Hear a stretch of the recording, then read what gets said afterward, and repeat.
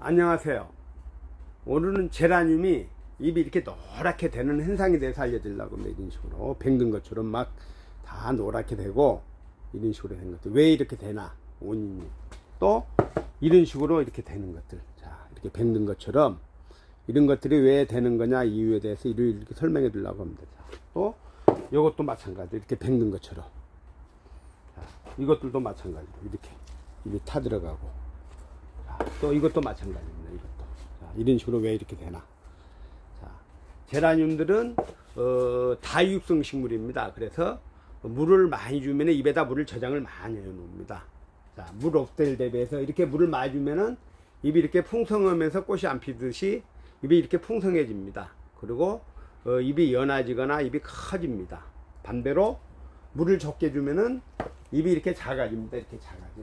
이런 식으로 작아집니다. 자, 그래서 제가 적정한 수준의 물을 줘야 되고 조금 조금씩 자주 주면 입이 이렇게 탄탄해진다고 그랬습니다.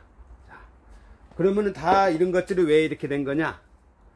특히 제라늄들은 저온성 식물이라 가지고 어, 온도가 낮의 온도가 한 20도 정도 되고 저녁 온도가 5도에서 10도 정도에서 가장 잘 큽니다. 꽃도 잘 피고 어, 크기도 잘 크고 또 탄탄하고 자 그런데 우리가 이제 계절상으로 12, 11, 12, 1, 2, 3, 4, 5월달, 5월달에 걸쳐가 제라늄이 가장 잘 키우기 잘 자라기 좋은 온도고 환경입니다. 자, 그런데 우리가 집에서 이제 어, 물을 주면서 어디 잠깐 집을 비우거나 2, 3일 정도 말려고 아니면 집에 가, 어, 외출을 하고 나서 여행을 가거나 그랬을 때 물을 갑자기 말른 다음에 이렇게 물을 주면 이런 현상이 일어납니다. 왜? 자기 몸에 있는 수분을 빠져나가서 입이 이렇게 노랗게 된 겁니다.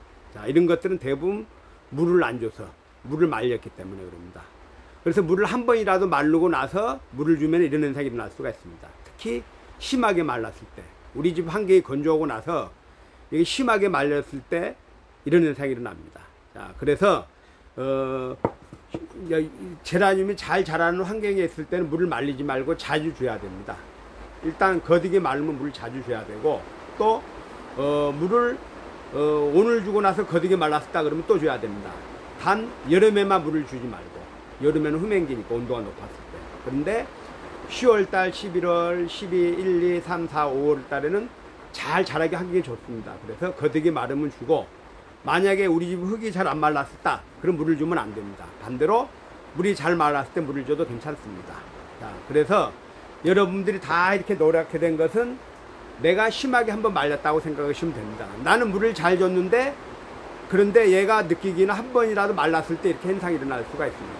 그래서 여러분들이 이제 특히 1월 달에 1월 달, 2월 달에는 건조하고 또 집이 건조하고 또 잘 습도가 없고 건조하기 때문에 잘 마를 수가 있습니다. 그래서 특히 겨울철에 여러분들이 물을 안 주는데 춥다고 안 주는데 그게 아니라 흙이 말랐을 때는 무조건 물을 줘야 된다고 생각하시면 됩니다.